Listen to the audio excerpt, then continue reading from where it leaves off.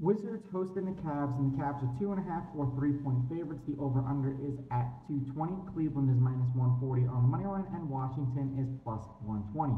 The Cavs have won their last two games. The Wizards have lost their last two games.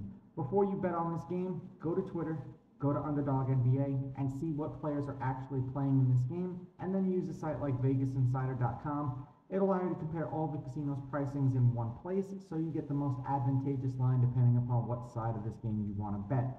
Now, head to head, the home team's on a three game winning streak. The Cavs are on a two game winning streak against the Wizards.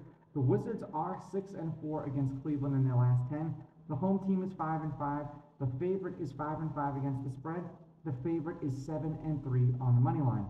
The under is 6 and 4 in their last 10, and the over under at 220 is 5 and 5 in their last 10 games. The last game that they played, Cleveland won 117-107 in overtime as three and a half point favorites. The game before that, Cleveland won 92-86. They were eight and a half point home favorites. They did not cover. The game before that, the Wizards won 110-93 as four point home favorites. And the game before that, the Cavs won 116 to 101. They were three point road underdogs. Three out of the last four games that they've played against each other, Cleveland has won. Now, in their last handful of games. Cleveland has covered their last two games.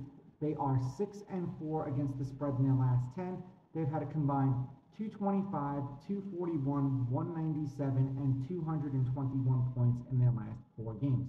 For the Wizards, they have not covered their last two games. The last two games that they've played have gone over, and they also are 6 and 4 against the spread in their last 10 games. We've had a combined 248, 240, 233 and 216 points in the games in which they played. Now, looking at some of the players who are not playing for the Wizards is kind of going to lead me a little bit more towards the other side than I probably would have gone. I'm going to take Cleveland with the money line.